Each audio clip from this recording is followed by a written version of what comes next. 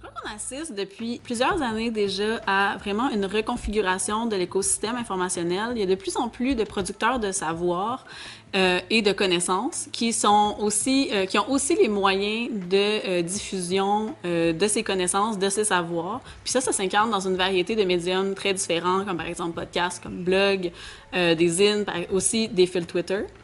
Euh, puis c'est certain que la bibliothèque ou le centre de documentation vient s'adapter à ce paysage informationnel-là qui est en changement en développant euh, des outils d'évaluation de l'information pour euh, les personnes usagères qui sont adaptables à pratiquement toutes les incarnations du savoir.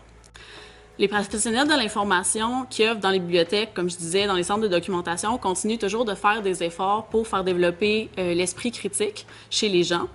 Quand, on- quand, comme, individu, euh, on évalue un livre, on a tendance à toujours questionner un peu les mêmes, les mêmes, les mêmes sujets. On va questionner l'autorité de l'auteur, on va questionner euh, la réputation de la maison d'édition, l'année de publication du document.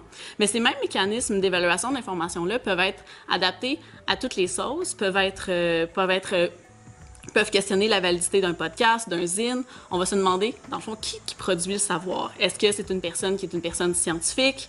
Est-ce que c'est une personne qui est reconnue pour euh, ses opinions polarisées, par exemple? Ou est-ce que c'est une personne qui vient livrer euh, un témoignage euh, sur un sujet particulier, puis dont la voix n'est pas nécessairement traditionnellement, traditionnellement pardon, reconnue par les médias ou par les institutions du savoir?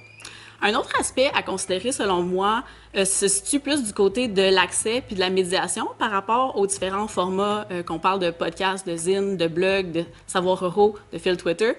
Euh, par exemple, c'est sûr que comme bibliothèque, je ne sais pas si on va un jour réussir à cataloguer du savoir oral qui, qui existe seulement juste sous cette forme-là.